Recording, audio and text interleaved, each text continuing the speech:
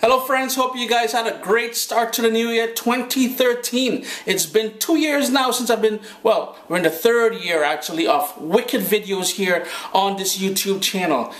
Glad to have you here with me as always in my kitchen and look what I have going on here. The wok is out. It means we're doing some kind of stir fry something. Today we're going to do a beef noodle stir fry.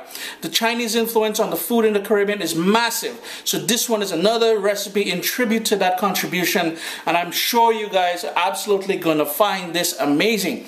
Chris here, CaribbeanPot.com. Let's make this beef noodle stir there's quite a bit of ingredients. Please do not get intimidated. It is all going to go together nice and lovely.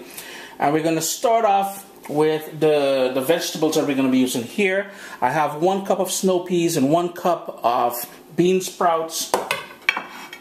On my plate here, one carrot that I cut up very thin, a large onion, nice and chunky, one cup of mushrooms that I cut into quarters, one cup of broccoli, nice and fresh, cut into uh, small pieces, and two scallions, you may call it spring onions, or as we do in North America, we call it green onions. So two of those sliced up very thin. A nice little sweet pepper medley here. I've got red, I've got orange, and I've got yellow. So two cups of that, again, nice and chunky. The star of the show, beef. I've got here a thinly sliced quarter pound of beef and we're to season that up with some fresh ginger. We're to grate that ginger into there. We're to need about a tablespoon of this fresh ginger. You can't do this without some Caribbean sunshine. I've got some scotch bonnet pepper here. Quarter of a scotch bonnet pepper that I chopped up very finely. Here I've got half a teaspoon of salt as well as a quarter teaspoon, well you can't see it, there we go, of Chinese five spice powder a quarter cup of orange juice. It's going to give it a nice wicked flavor. And back here, the sauces to make that nice little sauce. Well, before we get to the sauce, some fresh ground black pepper, maybe about a quarter teaspoon of that. We're going to need about three tablespoons of vegetable oil divided. We're going to start off with two tablespoons and we're going to add one later on sesame oil I'm going to use is very powerful, very potent, very strong. It's not my thing, but I select a little bit of flavor, so I'm going to use about a quarter teaspoon of this sesame oil. Soy sauce, I'm going to use, and wait a minute, I'm giving these people a lot of free promo here, you know. Two tablespoons of soy sauce, a tablespoon of oyster sauce, and a tablespoon of hoisin sauce. All of this is going to go together to make that wicked noodle stir fry with the beef. And speaking about noodle, and the next one getting some free promo from me. I love this brand, the Champion brand. Um, you can get it in your West Indian uh, grocery store or um, your Asian grocery stores, Latin grocery stores, they all have it. It's an egg noodle, and I'm going to use the entire package, which is 340 grams, 12 ounces. But all I'm to do is to cook this according to the, detail, the directions on the package and drain it and set aside. So let's get cracking on this wicked beef noodle stir fry. So the very first thing I want to do is to marinate this beef a little bit. So I've got that five spice powder as well as the salt and I'm just to dump it in there. And then I've got my little grater. I'm to grate in about a tablespoon of fresh ginger in there. Do use fresh ginger. You're to love the flavor and the scent and everything else. When you grate ginger, to smell nice. So that ginger is going in there.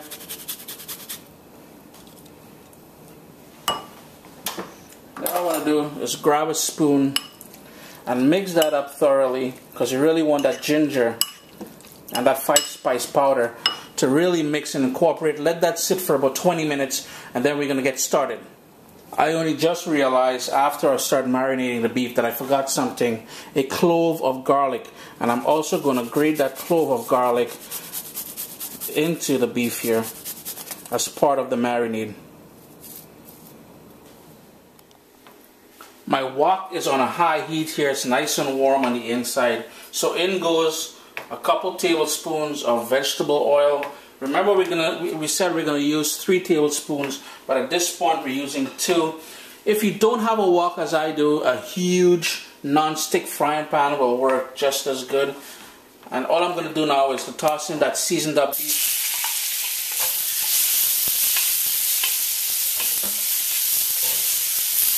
And all you're doing pretty much is quickly cooking this on that high heat. That's one of the reasons why I also slice the beef very, very thin. Because I want this to cook very fast. You guys should smell this kitchen with that garlic and the five spice powder, the ginger. Mm, smelling wicked.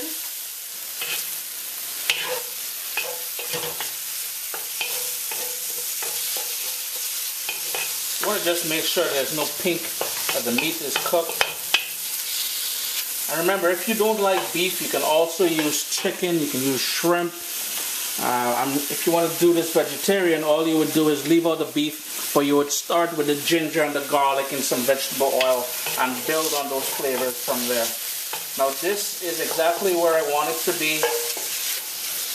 So all I'm going to do is remove it and set it aside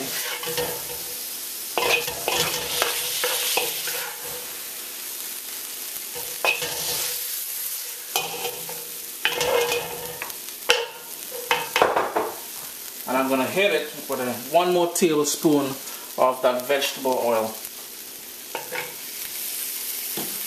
And right away I'm going to add the diced up onions and let that soften up for about 30 seconds or so.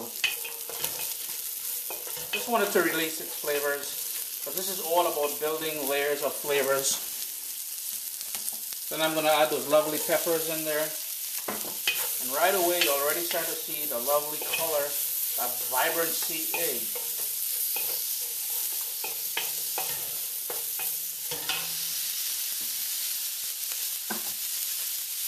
Then in goes the carrots, as well as the mushrooms and the broccoli.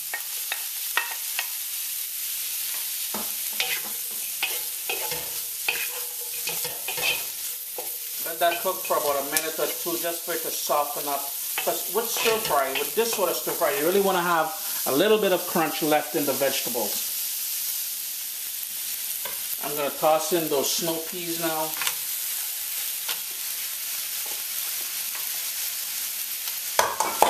hit it with that fresh ground black pepper. If you got white pepper, you can also use that.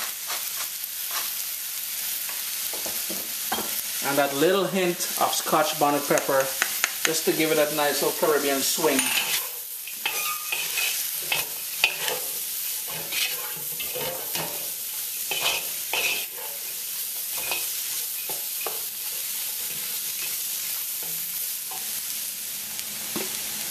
Just gonna add that little bit of sesame oil. I'm just gonna give it a quick stir before I start adding. And I think we lost the mushroom, but it didn't go far. Back in the pot, buddy. Just gonna coat everything with that sesame oil before we start building more flavor. So I'm just gonna create a sort of a hole in the center here. Excuse me.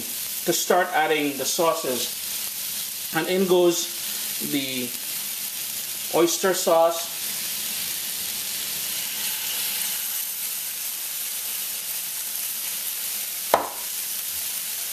The hoisin sauce. And the soy sauce.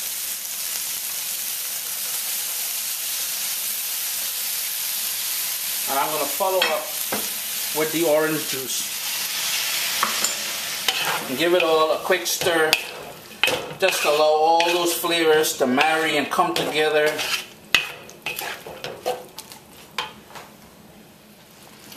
We're just gonna add back that beef to the pot to the pot here.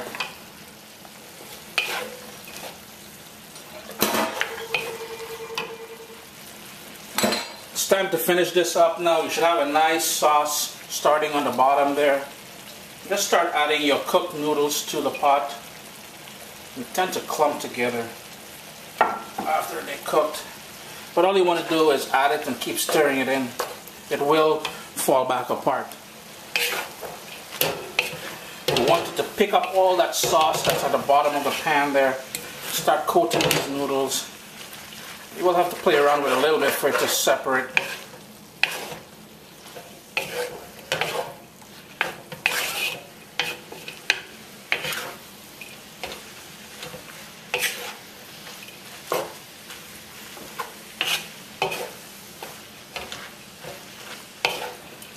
Be sure to mix it up good. the bean sprouts, we didn't forget those guys. We want that at the very end here, as well as the green onions. Give everything a final toss. remember, stir fry is all about cooking fast on high heat. The lovely colors and textures. And the scent in here is absolutely wicked.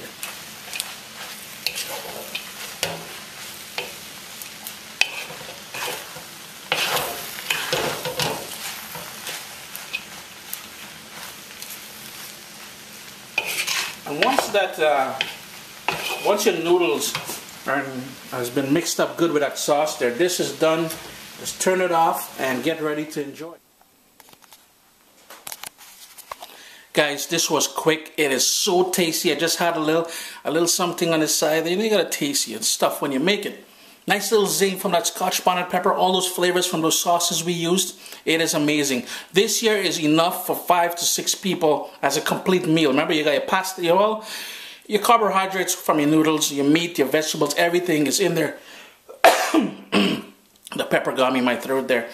Um, but it is such a lovely dish, a wicked way for us to start 2013. Look for some more exciting recipes as we move through the year. Guys, I've got tons of stuff planned for you all. Don't forget, if you love this recipe, check out my book, caribbeanpot.com slash book. You're good to go. Always a pleasure to have you here in the kitchen. Give it a try.